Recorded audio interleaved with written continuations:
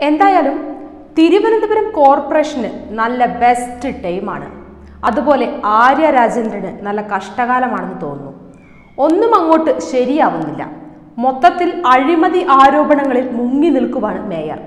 ചെറുപ്രായത്തിൽ തന്നെ അധികാരത്തിൽ വന്നതിനെ ആഘോഷമാക്കിയ സി പി എമ്മിന് ആര്യ ഒരു തലവേദനയായി മാറിയോ എന്നൊരു സംശയം. ഇനിയിപ്പോ മേയറെ മുൻനിർത്തി പിന്നിൽ അവർ തന്നെ കളിക്കുന്നതും ആവാം. എന്തു തന്നെയായാലും അഴിമതി ഭരണം തന്നെയാണ് അവിടെ നടക്കുന്നത്. അധികാരത്തിൽ കയറുന്നതിന് മുൻപ് ഏതോ സ്വാമിയെ പോയി കണ്ടതും ആറ്റുകാൽ പൊങ്കാലയും അതു കഴിഞ്ഞപ്പോഴായിരുന്നു ഹിറ്റാച്ചി കാണാനില്ല എന്നുള്ള ആരോപണവും.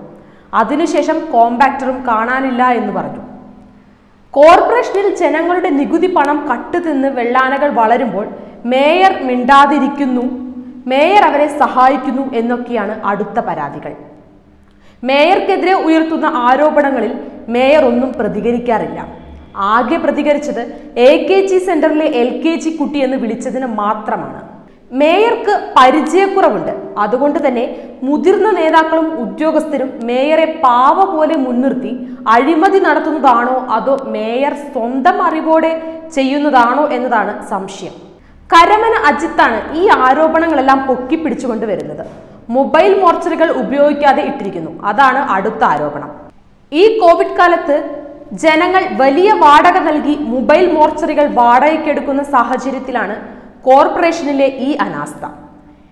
ഇതൊക്കെയും പൊതുജനങ്ങളുടെ പണമാണെന്നുള്ള ഒരു ബോധവും ഇല്ല.